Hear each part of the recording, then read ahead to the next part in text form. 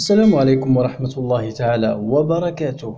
العالم والمفكر والفيلسوف المغربي الذي شرح العقل العربي. مفكر وفيلسوف مغربي له مؤلفات كثيرة في قضايا الفكر المعاصر. أبرز مؤلفاته نقد العقل العربي.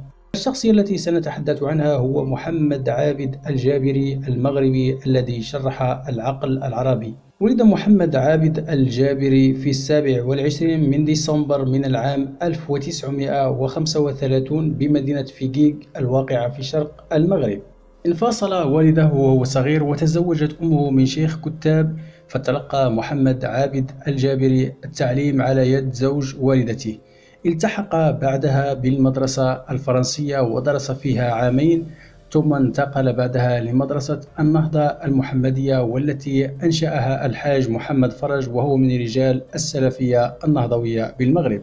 من فلسفة محمد عابد الجابري أنه رفض تقسيم الفكر العربي إلى مثالي ومادي أو نصي وعقلي واقترح عوضا عن ذلك تقسيما جديدا بديلا ومستمدا في الوقت ذاته من ابن رشد الفيلسوف الأندلسي. كما أن من فلسفة محمد عابد الجابري أن العقل العربي في رأيه قائم على ثلاثة نظم مترابطة وهي النظام البياني والنظام العرفاني والنظام البرهاني وهي محصلة لتشابكات غرست مع الزمن أو مرور الزمن في الوعي العربي. كما أن محمد عابد الجابري يرى أن النهضة العربية المعاصرة بنيت على أساس توفيقي بين بعث الماضي والاستفادة من الحضارة الحديثة ما ينسجم مع تراثنا وذلك في رأيه خطأ فاحش.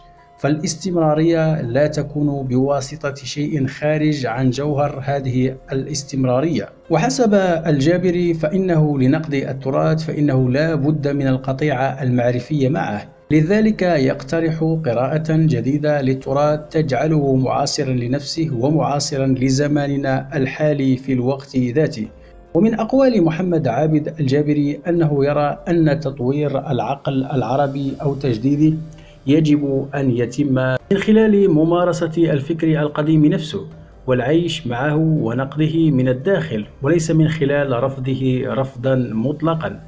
وأولئك الذين يرفضون تراثهم العربي الإسلامي يقبلون قبولا غير واع تراثا آخر يتخذون منهم منظومتهم المعرفية. من أقوال هذا المفكر المغربي كذلك نحن ملزمون بالرجوع إلى ابن خلدون سواء انصرف اهتمامنا إلى الحضارة العربية الإسلامية كدول ومجتمعات واقتصاد أو كان شاغلنا الحضارة العربية كفكر وثقافة.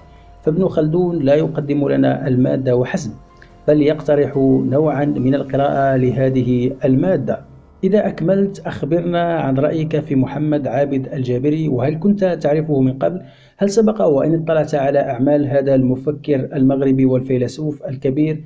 أخبرنا برأيك في التعليقات ولا تنسى الإعجاب بالفيديو والاشتراك في القناة وتفعيل الجرس لتتوصل بالجديد والسلام عليكم ورحمة الله تعالى وبركاته